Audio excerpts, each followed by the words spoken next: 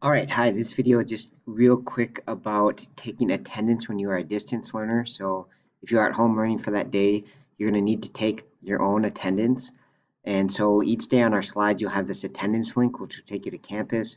You just click on that, check in, verify that you've seen uh, the requirements for that day for our class.